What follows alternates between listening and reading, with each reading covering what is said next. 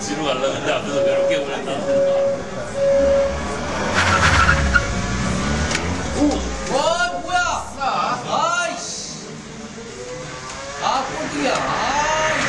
아이씨.